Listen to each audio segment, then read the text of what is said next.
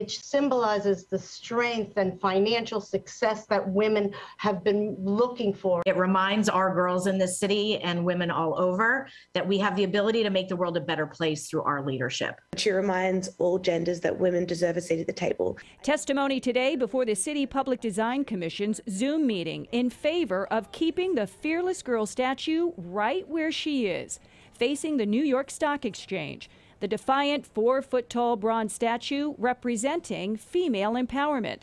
The Fearless Girl has captivated New Yorkers and visitors from around the world.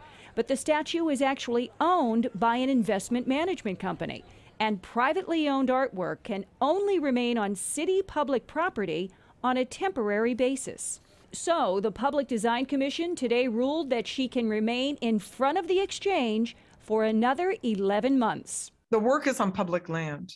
The work has got to ben- benefit the people, and the people have to come first. The problem is that artist Kristen Visbal, who created Fearless Girl and owns the copyright to the artwork, is being sued by State Street Global, an investment management company that sponsored the statue and owns a trademark for its use.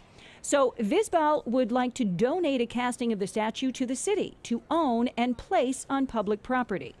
The commission today saying it is giving all of the parties involved six months to reach a resolution. State Street Global Advisors and myself and the mayor's office come together and find a resolution. So for now, you can continue to see the spunky statue at the exchange.